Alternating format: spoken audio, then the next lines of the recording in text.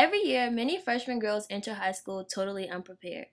This can be deadly to their future success in high school as first impressions are very, very important. Eliza is about to enter high school for the first time with no idea how to prepare herself, but her luck is about to change.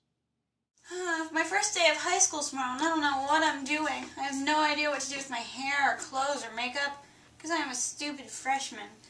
What will I do? Don't worry. Who are you? I'm your fairy godmother, and I'm going to help you get ready for your first day of high school. Okay, what's the first step? You have to go to bed. Get some beauty sleep. Right now? Yep. Okay. Good night.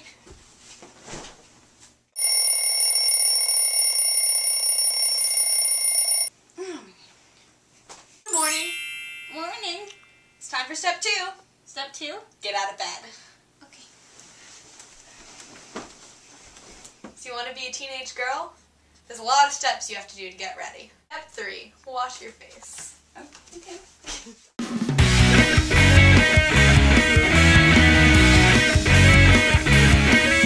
Good? Way to go! Can I have some food, like some breakfast or something?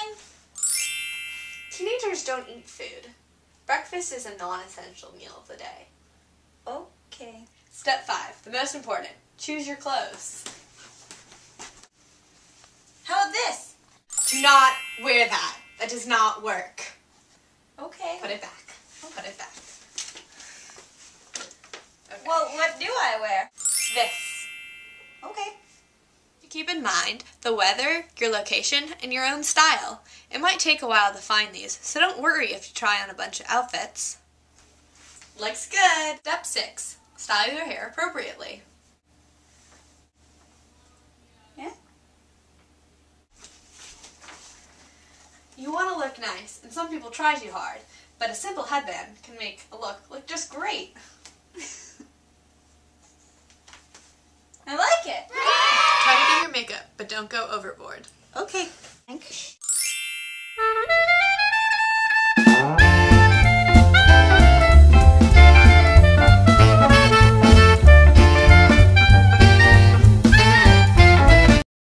How do I look? No.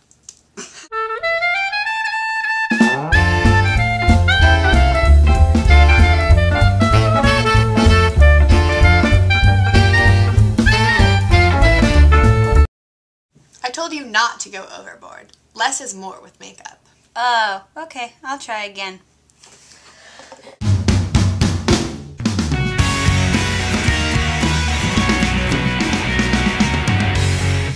How about now? Good job. Make sure you have all the things you need for the day. And remember, avoid the upperclassmen. If you make them mad, bad things will happen. Okay, I'll remember that. Oh, and I hope you have a great day. Thanks, Fairy Godmother!